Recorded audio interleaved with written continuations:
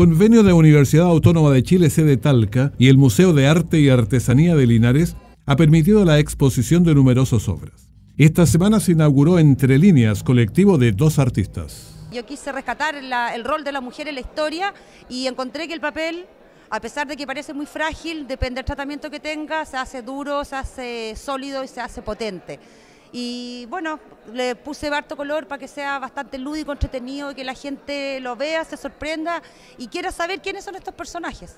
Invito a, todas a todas las personas de la región, de Linares, que vengan a ver algo diferente, una pintura abstracta que, que es de alguien que de, la región, un artista emergente de la región y que quiere, tiene eh, ansias por, por hacer algo diferente. Este convenio, ya en su segundo año de funcionamiento, ha permitido presentar obras de excelente nivel.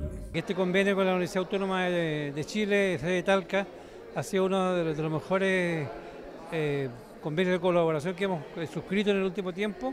Es un, sistema de, cooperación mutua y que nos va a permitir eh, traer exposiciones de gran nivel a nuestra ciudad mientras ese convenio esté vigente. Espero que rija por, por muchos años.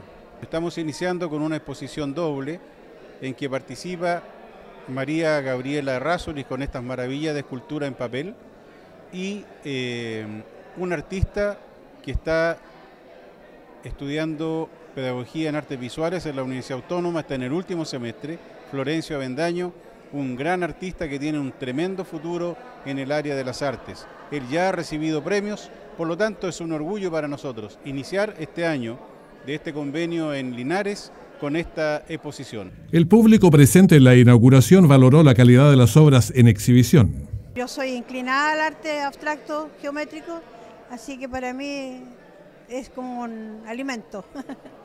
y las figuras también son muy atractivas, sobre todo las soberanas que están a la entrada allí, eh, la, reina y, la, y la pehuenche me gustó mucho estamos, venimos recién llegando y estamos eh, admiradas porque está muy, muy eh, bonito todo lo que está, la, parte cultural. Estas mujercitas muy, muy bien hechas y muy bien representadas.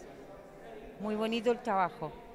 Recordamos que puede visitarlo, como prácticamente todos los museos del mundo, de martes a domingo y además aquí la entrada es gratuita.